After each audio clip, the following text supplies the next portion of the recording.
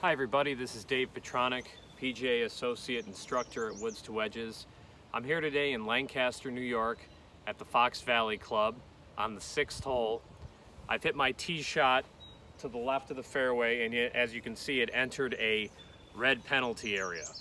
Under the rules of golf, I have three options. I can first take stroke and distance, head back to the teeing ground, and hit my third shot from where I played my last shot.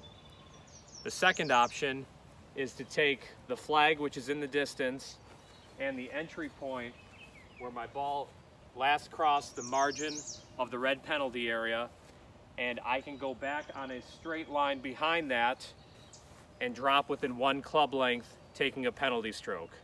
Unfortunately, that's not an option since that area would be out of bounds and off the property of the golf course.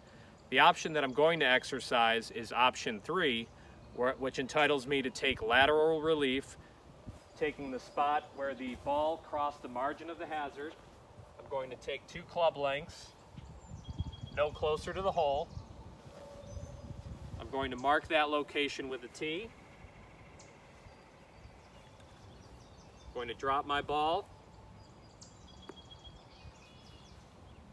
I'm going to play my third shot on the hole.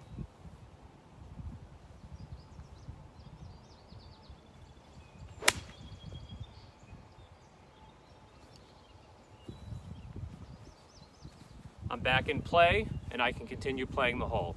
I hope this helps you the next time you encounter this situation. Thank you very much. Have a great day.